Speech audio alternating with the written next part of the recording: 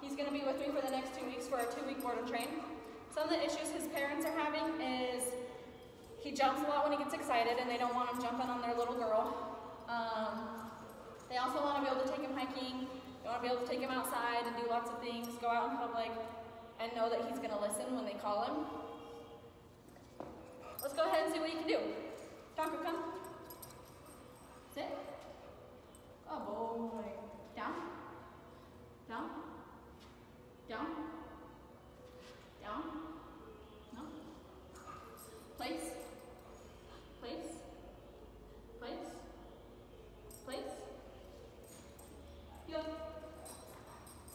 heel,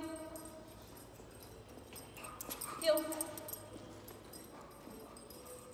heel.